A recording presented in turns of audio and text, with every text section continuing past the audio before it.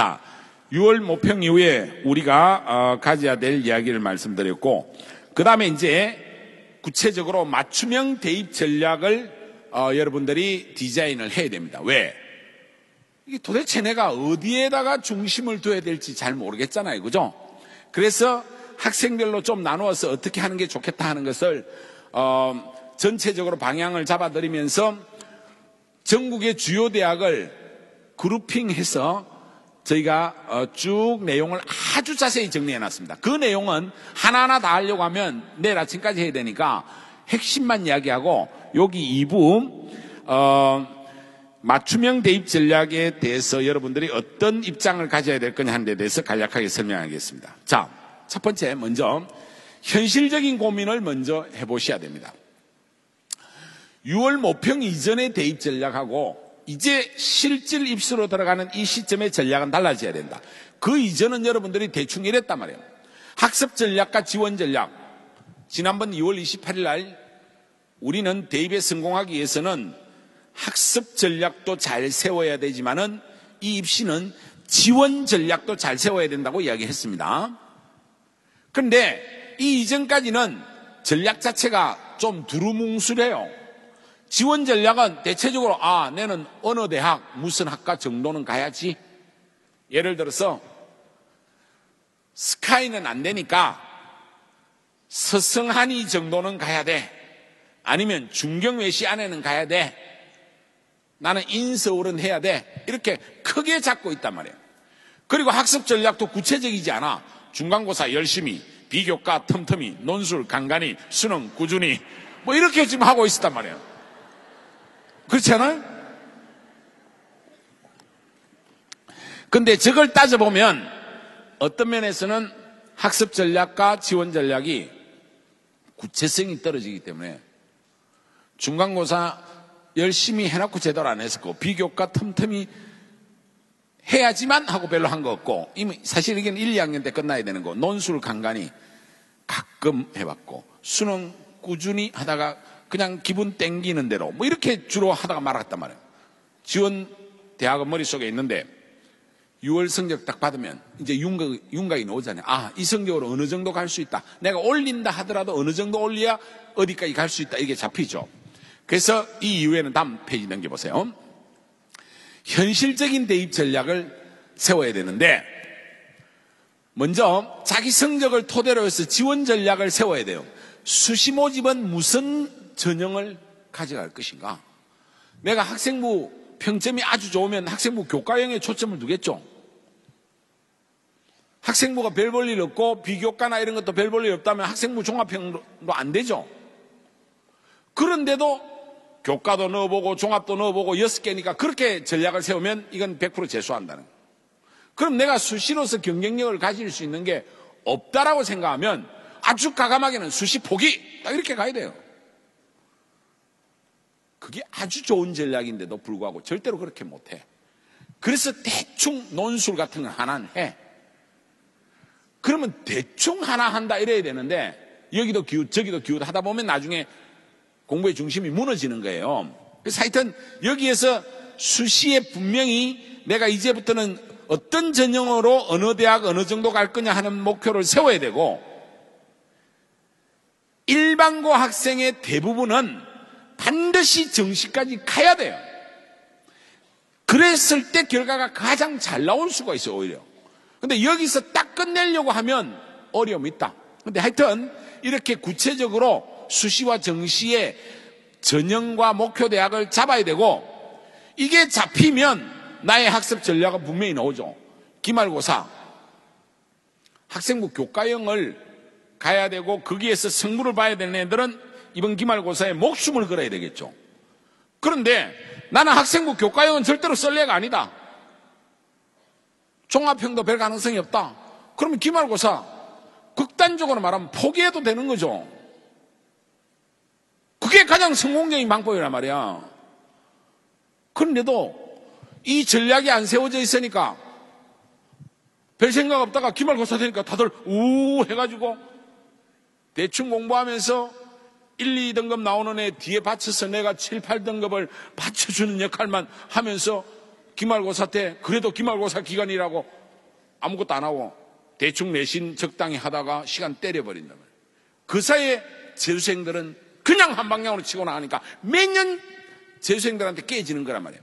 그래서 나의 이 지원 전략에 따라서 기말고사가 분명히 선택적으로 준비되어야 되고 비교과 이 정도 시점에서 거의 끝난 거죠. 근데 일부 비교과를 내가 조금 더 채울 수 있는 것이 있다면 가능성 검토 차원에서 해봐야 되는 거고 논술 논술은 오늘 설명해서 제가 계속 강조하겠지만은 논술은 이렇게 생각하셔야 됩니다. 그냥 로또라고 생각하셔야 돼요. 왜냐하면 최근 5년간 데이터를 지난 2월 28일에도 제시했고 오늘도 뒤에 넣어놨는데 논술로 지원해서 합격 비율이 요 서울 시내 주요 14개 대학에서 5%밖에 안 돼요. 그럼 5%면 20명 중에 한 명 붙은 거 아니야. 그러면 내가 20명에서 거기에 들어갈 확률이 거의 없잖아요. 그래서 논술은 우리가 이 대입에서 분명히 존재하고 있고 하나의 전형 방식이지만은 준비가 철저하게 되지 않은 학생은 했스펠 효과가 없다는 사실을 알면서 내가 어떻게 할 거냐. 나의 여기에 들어있으면 하는데 그러면 이것도 검토해 봐야지. 내가 가고 싶은 대학에 수능 최장력이 지금 통과될 건지 안 될 건지. 안 된다면 그거부터 해야지. 통과시키고 그 다음에 논술 유형에 맞게끔 어떻게 할 것이냐. 이런 전략을 짜야 돼. 그러다 보면 요 전체적인 비중의 크기가 달라질 가능성이 있다는 거예요. 그래서 아주 이렇게 구체적으로 어, 현실적 고민을 해야 된다. 여태까지는 크게 난 어느 정도 대학 간다. 다 열심히 한다. 근데 지금은 눈앞에 왔단 말이에요. 특히 당장 기말고사에 대해서 학교에 계시는 선생님들 입장에서는 이런 말씀을 하시기 어렵죠.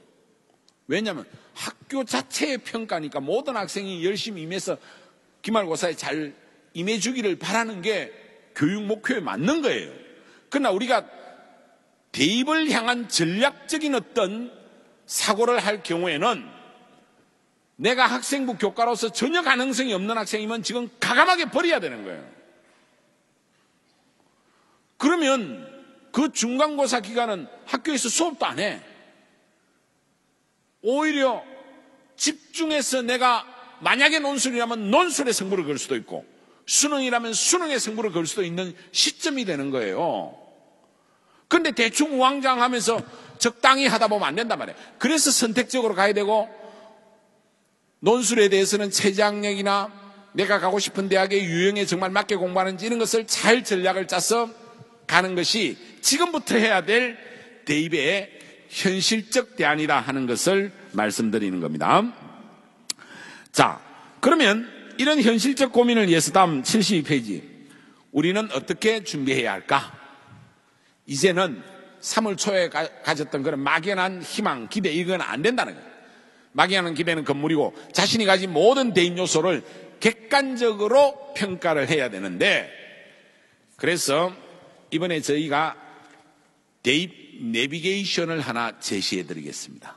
어, 내비게이션 형태로 만들어 놨으니까 어, 내가 어디에 속하는지 보세요. 자, 내비게이션 1. 이 학생은 별로 없을 건데 현재 위치 학생부 우수 1등급 예, 1 써놨잖아. 수능 다 1등급. 이런 학생은 내비게이션 탁 시작 버튼을 누르면 목적지까지 도로가 원활하게 잘 뚫려 있습니다. 뭐 이렇게 나올 겁니다. 그죠? 네. 그래서 추천 경로가 이 학생은 딱 두 가지를 해야 돼요. 일반고 학생이라고 전제를 한 겁니다. 학생부 교과 전형과 정시 이거 외에 하면 안 됩니다. 이 학생은. 제 말 들으세요. 특목고 학생이면 학생부 우수하다 하더라도 아주 우수하지 않겠죠. 그러나 특목고에서는 비교과나 여러 가지 잘 관리를 해놨기 때문에 학생부 종합형으로 가면 돼요. 외고생이라 하면 이런 학생이면 학생부 종합형과 정시로 가면 되고 일반고 학생은 학생부 교과 전형과 정시로 가는 것이 좋다. 추천 경로에 기말고사 지금부터 어느 구간을 통과하실 때 아주 빠른 속도로 잘 통과하셔야 어떻게 됩니다. 뭐 이런 게 나오겠죠. 기말고사 성적 관리 주력해야 돼. 왜냐하면 학생부 교과형에서 승부를 내야 되고 3학년 1학기 성적이 가장 중요하니까. 그 다음에 기말고사 이후 목표 대학 수능 최장력 기준 충족을 반드시 해야 되고 정시를 모두 고려해서 수능에 올인하세요. 요렇게 내비게이션이 답을 딱 줄 겁니다. 이 학생 이렇게 가면 돼. 쉬워요. 제일 대입에서 현재 마음 편한 학생이야. 근데 이런 학생도 이 대입에서 아차하면 사고 칠 수 있어요. 사고 다발 경로를 유의하세요 하면서 다음 같이 나옵니다. 이미 대입에서 확실한 비교 우위를 가지고 있는 당신, 다른 전형 요소에 특별한 강점을 갖고 있지 않음에도 눈을 돌린다면, 뭐 논술 그래도 다들 하는데, 어? 또 엄마가 어디에서 듣고 와가지고 논술 팀 짜는데 니도 오라는데 그러는 순간 재수로 갑니다. 이런 학생은 절대로 논술 하지 말라는 거예요. 여기서 승부를 낼수 있는데 왜 이것저것 하냐면 그만큼 시간 날아가면 학생부 교과로 만약에 안 됐을 때 정시로 가야 되는데 정시의 경쟁력이 떨어질 거 아니야. 그래서 제발 부탁인데 여러 가지 경로를 가지고 대입을 완주하려고 하면 분명히 중간에 사고 다발 지점에서 사고 난다는 거예요. 아시겠습니까? 그래서 이런 학생은 이렇게 가는 것이 답이다. 자, 그 다음, 내비게이션 2. 어, 이런 학생들 좀 있어요. 여학생들 중에서도 좀 있고, 어, 또 내신 관리만 잘하는데 수능이 도저히 안 나오는 애들이 있어요. 학생부는 우수한데 수능이 불안한 학생. 목적지까지. 이런 학생은 속으로는 학교에서 내가 전교권에 놓으니까 전교 내가 한 5, 6등 하고 반에서 1, 2등 늘 하니까 대학 잘 갈 거라고 확신하고 있어요. 엄마도 믿고 있어요. 왜? 모범생이거든. 사고도 하나도 안 쳤어. 근데 미안하지만은 이 입시에서 아주 불안한 학생입니다. 절대로 쉽게 대학에, 대학 입시에 성공 못 한다는 사실. 그래서 입시 상황, 이거 내비게이션 보고 에이씨 내비게이션 이거 엉터리야 이럴 가능성이 있는데 목적지까지 매우 불안합니다 이렇게 나옵니다 추천 경로는 학생부 교과나 학생부 종합 플러스 정시인데 학생부 성적이 최상위권이라면 수능 최장력 기준이 없거나 낮은 학생부 교과 전형을 노려보세요 하지만은 최장력이 없는 데는 예를 들어서 이 학교 같은 데를 노리면 1.05, 뭐 1.03 이렇게 돼요, 부터. 그런 애들 같으면 수능을 못한 애는 극히 예외적인 경우예요. 그런데 한 1점대 후반, 2점대 초반 애들 중에 수능이 아주 불안한 애는 사실 엄청 머리 아파요. 근데 얘는 무조건 기말고사 열심히 해야죠. 더 올려야 되니까, 그죠? 기말고사 이후에는 정시에 대비해서 수능을 분명히 신경 써야 됩니다. 얘는 답이 아무것도 없어요. 그리고 얘는 사실은 앞에 애하고 똑같은 애예요. 지금 당장 해야 될 대책이 지금 당장 해야 될 것은 학생부 더 올려야죠. 근데 3학년 1학기까지밖에 안 들어가잖아. 그러면 남은 120일 정도의 기간은 완전히 수능에만 올인하면 살려낼 수 있어요. 이런 애들이 의외로 많이 있거든요. 학생부는 아주 좋은데 수능이 안 좋네. 자꾸 딴 거 찾으면 안 돼. 기말고사 목숨 걸고 그 이후에는 눈 딱 감고 얘들 논술하면 안 돼. 현재 수능이 막 3, 4등급 이렇게 섞여 있는 애들이란 말이에요. 얘는 전략적으로 1등급, 2등급이나 요걸 두 개는 만드는 과목을 만들고 자기가 올릴 수 있는 거 최대한 올리고 나머지는 차근차근 올릴 수 있는 그런 방식으로 가야지 그 외 방식으로 가다가는 얘는 곳곳에서 사고 나서 재수하게 될 애입니다. 아시겠습니까? 자, 그 다음, 내비게이션 3.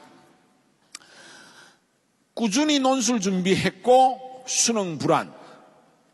얘 뭔가 이상하네 얘는. 그러니까 근데 간혹 이런 애들이 있어요. 강남 지역에 더 많아요. 학교 내신은 이미 3점대, 4점대로 망가졌고 별 대책 없고 수능도 좀 잘 안 나오고 근데 어릴 때 공부는 잘한 애야. 또 엄마 아빠가 공부 잘했던 집안에 뭔가 이 집안에서 한두 명 사고 치는 자식 중에 이런 놈들이 많아.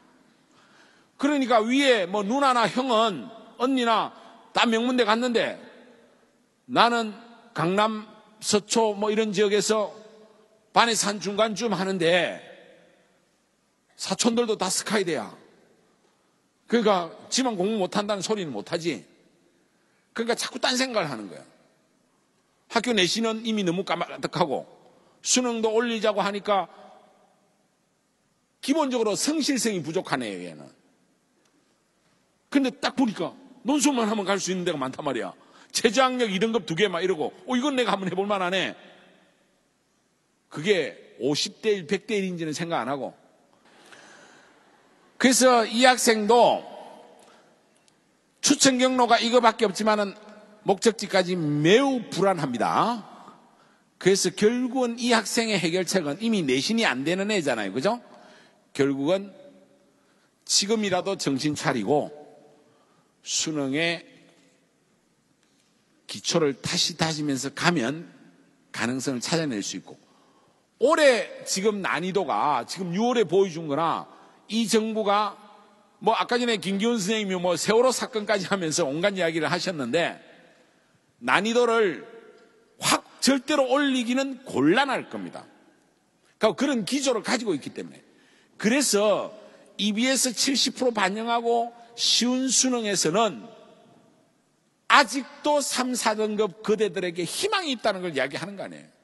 언제든지 1등급 받을 수 있고 만점 받을 수 있기 때문에 이 입시에서 제가 오늘 계속 반복해서 이야기하는 것은 수능의 중심을 다시 찾으면 언제든지 회복할 수 있고 역전할 수 있다. 그런데 내가 성실하게 안 하면서 자꾸 다른 길을 찾다 보면 내년도 메가스타디 재수 정규반에서 꼭 우리 다시 만나게 될 거다. 이 이야기예요.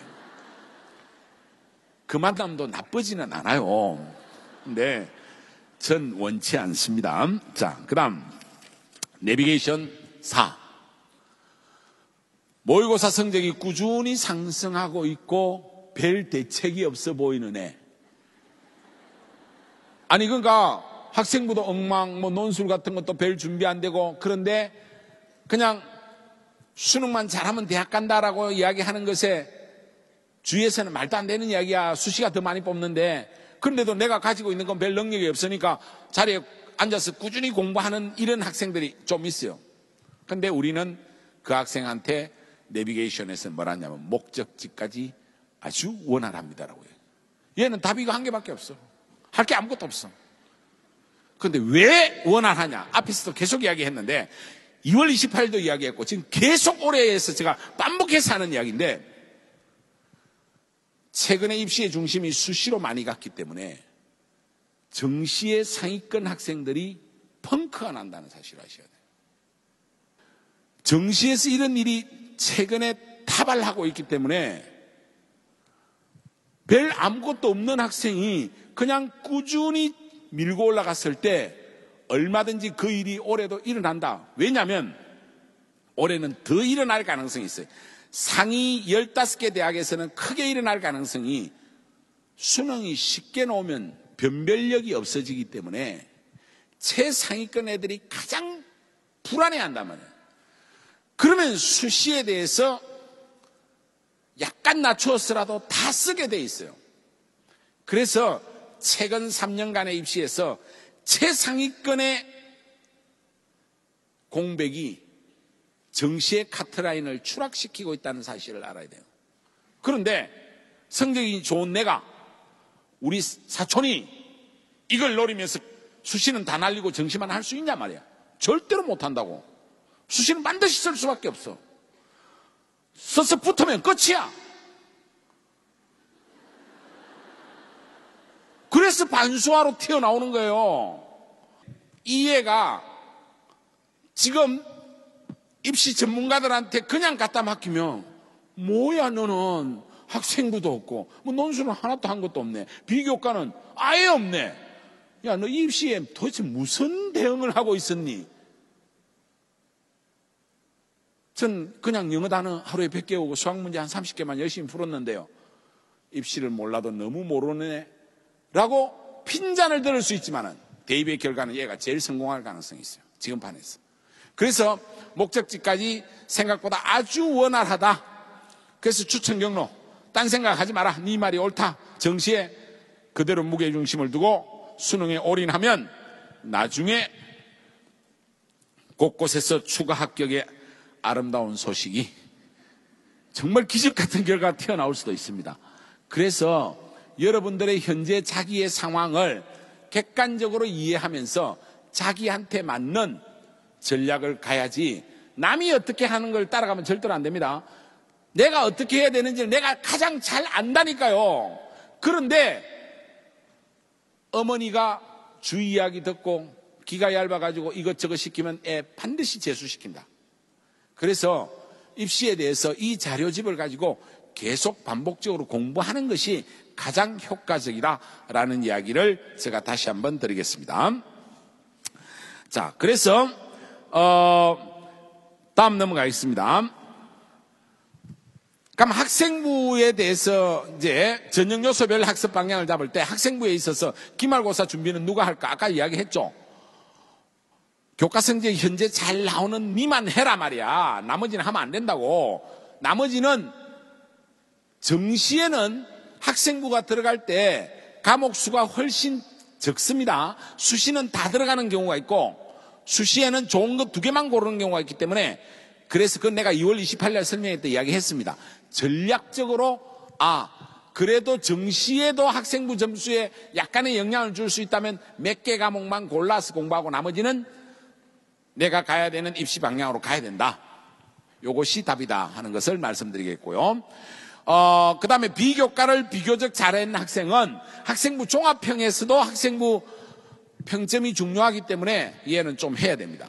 그 다음에 특정 과목 성적이 우수해서 관련 학과에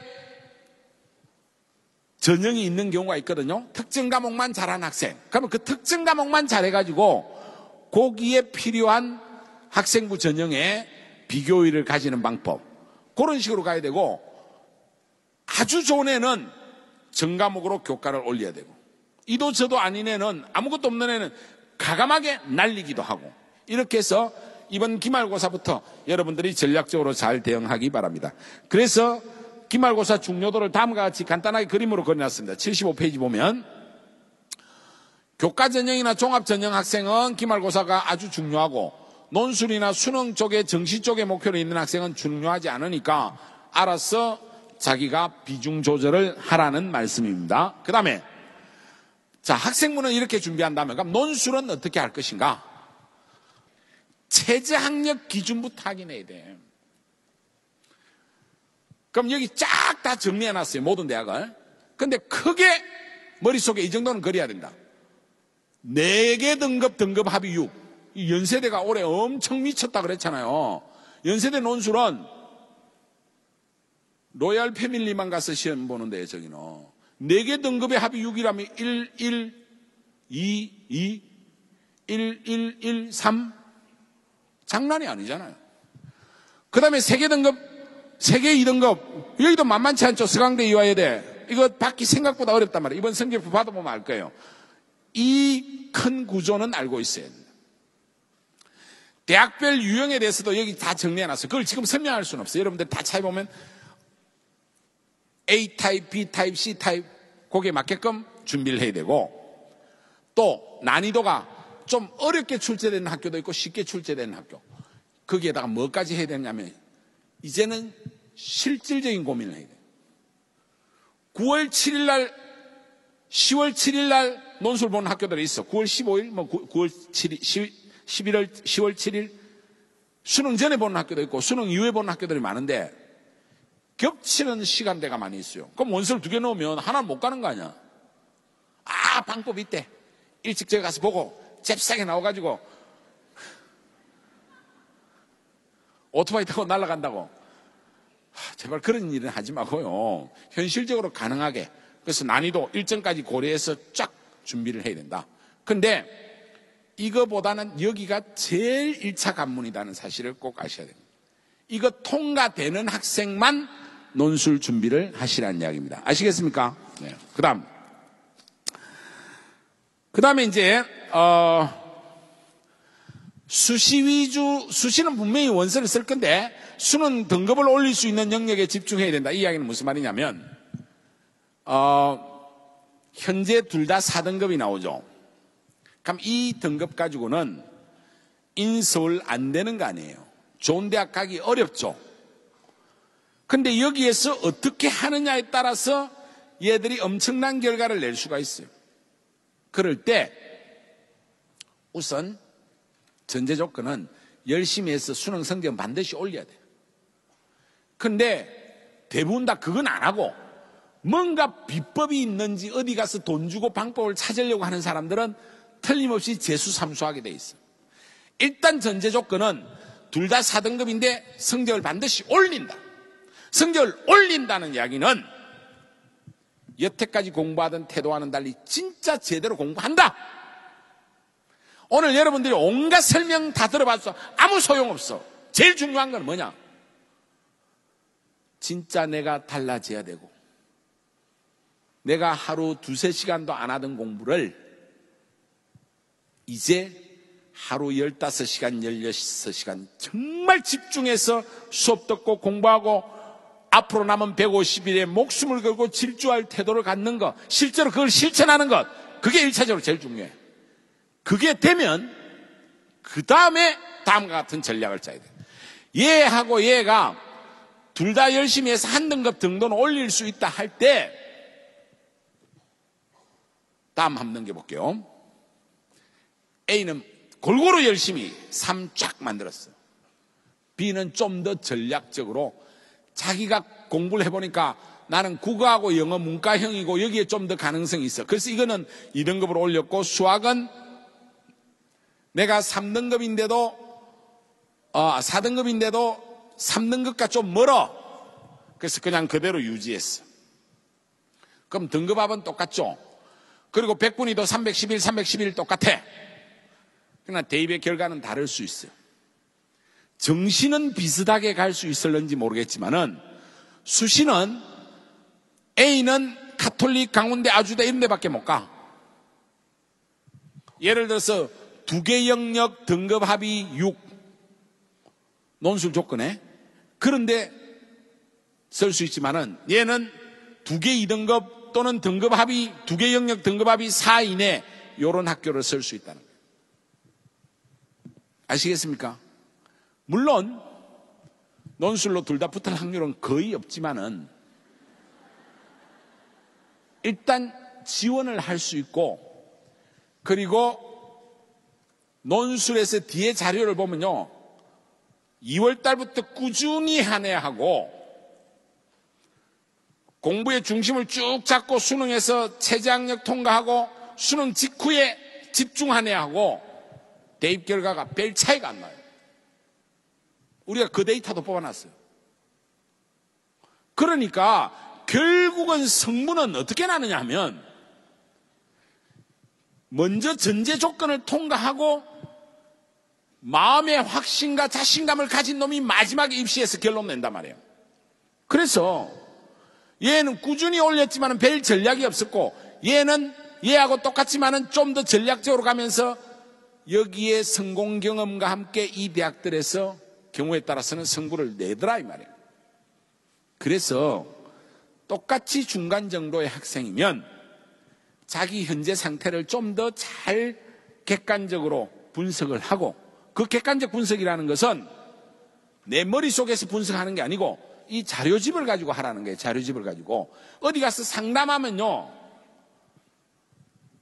그 상담하는 사람이 가지고 있는 비즈니스 모델에 따라서 자기 이해관계에 따라서 논술로 끌고 가기도 하고 특기적성으로 온갖 거 비교과로 끌고 간단 말이에요. 그건 상담이 아니지. 엮이는 거지.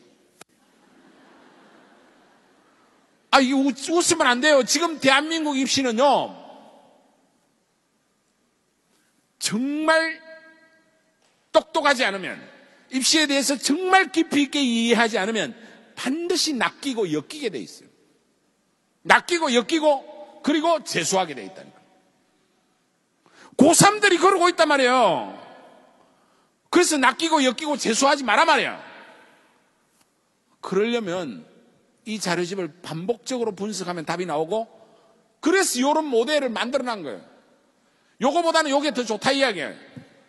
그래서 여러분들이 참조하고 이해하라고 하는 거에 저는 제안만 하지 저는 정답을 여러분들한테 드리지 않아요. 아시겠어요? 이걸 잘 참조하시기 바랍니다. 자, 그 다음. 그 누가 기말고사 준비할 것인가? 논술은 어떻게 할 것인가? 수능을 올리면 어떻게 전략적으로 올릴 것인가? 제가 세 가지 말씀드렸죠. 어, 그 다음, 자, 이제 전형 요소별에서, 어, 주요 대학은 수시 모집의 수능 최저학력 기준 적용 시 탐구 과목을 한 개만 반영한 데도 있어요. 그러면 이런 것도 잘 알아두면 자, 두 개 2등급을 만들어야 되는데 우리 애는 지금 4, 5등급이야. 보니까 얘는 수학은 도저히 안 돼. 영어도 기초가 없고 단어가 약해. 얘 2등급 만들 수 있는 국영수 중에는 국어밖에 없어. 좋아. 국어는 2등급이 만들어져. 근데 2등급 한개 더 만들어야 되는데. 사탐 한 과목인데. 그러면 그걸 한 과목으로, 한 과목을 가지고 최저 기준 조건으로 인정해주는 대학도 있고 안 하는 대학도 있단 말이에요. 그 리스트 정리해놨잖아요. 그죠? 그래서 탐구 한 과목으로 등급 조건을 인정해 주는 대학이 가천대, 경북대, 계명대, 대구, 한의대, 동국대, 명지대, 삼육대, 서경대, 성죽 다 있어요. 자, 다음 페이지 또 넘겨보세요. 영남대, 인천대, 인하대, 전남대, 조선대, 중앙대, 외대, 항공대, 한성대 이 학교들. 그리고 어떤 전형에서 인정해 준다라는 걸 우리가 정리해 놨단 말이에요. 그러면 내가 수능 성적이 나빠도 한 개를 가지고 국영수 한 과목을 대체할 수 있잖아. 이과생이면 과학 한 과목 가지고. 아시겠습니까? 이런 정보를 아는 게 훨씬 더 여러분들한테 중요한 거다 말입니다. 자꾸 무슨 니는 논술 해라. 니는 비교과 해라. 니는 뭐 해라. 그거는 걔한테 맞는 답이 아니에요. 자, 요거 아셔야 되고요. 그래서 6월 평가 이후에 다음 페이지 넘어가겠습니다.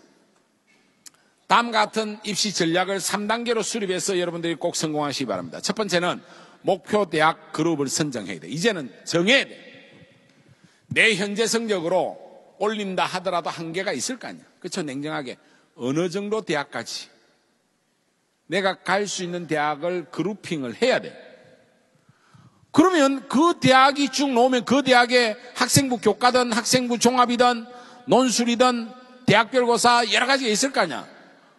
거기에서 찾아가지고 나에게 맞는, 맞는 전형과 대학별 유불리를 잘 비교를 해서 내한테 맞는 지원 전략과 학습 전략을 세우는 이 3단계로 여러분들이 가져가면 틀림없이 성공할 수 있다. 그래서 학생의 예를 하나 소개해 드릴게요. 다음.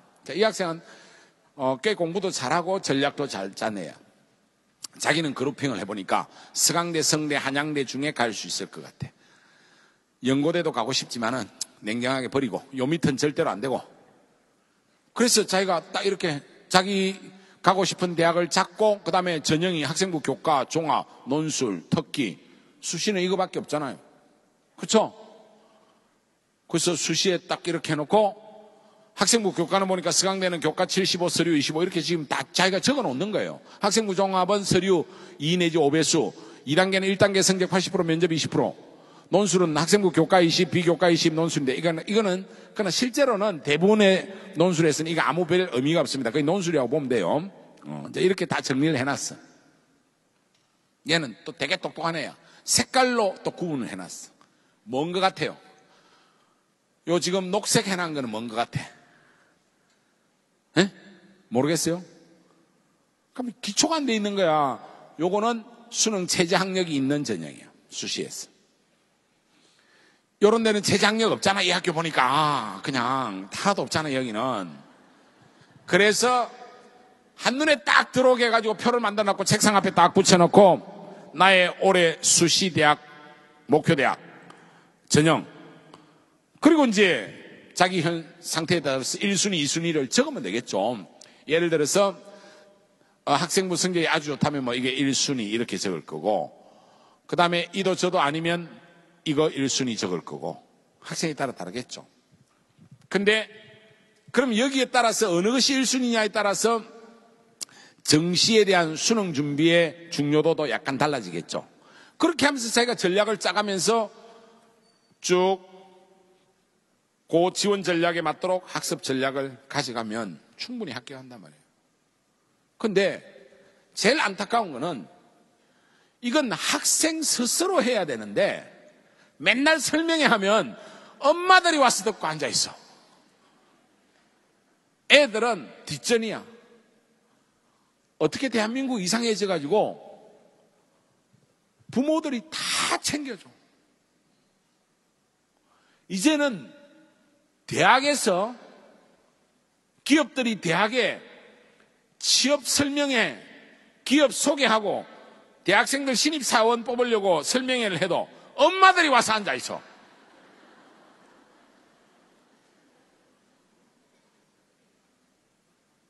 좀 하여튼 지금 문제가 좀 있어요, 사실은. 이 문화가 오래 가면 대한민국은 정말 마마보이들에 의해서 이게 문제가 심각해질 가능성이 있어요. 그래서 오늘 여기 오신 우리 학부형들은 제가 하나 제안하고 싶은 거는 이 자료집을 일단 애들 보고 읽으라면 안 읽을 것 같으면 아버지가 불경 읽듯이 성경 읽듯이 큰 소리로 하루 30분씩 읽으세요. 엄마하고 아들하고 둘이 듣고 있고 밑줄 치고 두세 번 읽고 나면 머리에 좀 들어올 것이기 때문에 그때부터 서서히 해서 학생 스스로가 자기 계획서를 세워야 돼요. 그래야 여기서는 합격해요. 옆에서 도와주는 사람이 많으면 많을수록 이 입시는 성공할 확률이 오히려 낮아집니다. 우리가 매년 경험을 해봐도 재수생들이 월등히 좋은 결과를 가져오는 이유는 재수를 하면요, 애들이 확 달라져요. 철도 나고, 엄마들도, 아버지들도 별 신경 안 써요. 스스로 자기가 이게 어떻게 해야 되겠다는 생각을 하면요, 답을 다 찾아내요. 그런데 공부는 잘하는데 어머니 아버지가 많이 개입하면서 이것저것 시키다 보면요. 정말 가능성이 있는 애가 어이없는 결과를 맞는 경우는 저는 정말 매년 수없이 봅니다. 이제 이제 내 친구 아들, 딸들은 이제 거의 막내들이 대학 가는 정도인데 최근 한 10년간요. 내 지인들 주위에 공부 잘하는 집 애들이 이상하게 재수하는 경우를 저는 수없이 봤어요. 그래서 설명회에서 작년 같은 경우에 아예 그 학생을 모델로 올려놓고 설명하기도 했어요. 분당 S고 전교 4등 K 모양 1년간 재수해서 고대 정시로 합격했어요. 걔요 전교 4등인데 200까지 답 떨어졌어요. 정신은 아예 제대로 넣어보지도 못했어요. 근데 그런 애들이 자기가 하면요. 웬만하면 스카이대 당당하게 가요. 이 안에 그렇게 될 수 있는 애들이 숱하게 앉아 있으면서도 괜히 복잡한 어떤 입시 구조에 흔들리면서 자기 중심을 놓쳐서 실패하는 사례가 일어납니다. 그래서 제발 그리 하지 말아 달라. 그래서 지금 어, 성적이 꽤 좋은 학생 또는 그런 자제분을 둔 학부모들은 지금 6월 모평 성적 나올 때까지 자기 주도적인 전략을 세우면 훨씬 더 좋은 결과를 낼 수 있다 하는 것을 꼭 기억해 주시기 바랍니다.